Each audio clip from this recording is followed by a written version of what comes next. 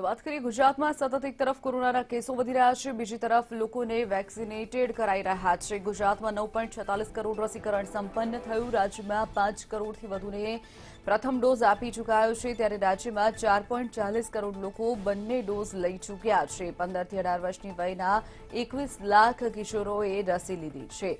રસીકરણમાં મહિલાઓ કરતા પુરુષ મોખરે રહ્યા છે. રાજ્યમાં મહિલાઓ કરતા નેવ્યાસી લાખ પુરુષોએ વધારે રસીકરણ કરાવ્યું છે.